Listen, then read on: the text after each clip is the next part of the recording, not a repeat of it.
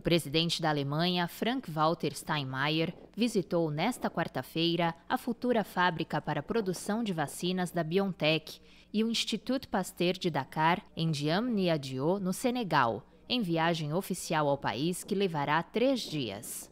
Também estiveram presentes o diretor do Instituto, Amadou Sal, e o ministro da Economia senegalês, Amadou Hot. A Alemanha e a União Europeia apoiam a construção da fábrica de vacinas contra a Covid-19 e outras doenças endêmicas.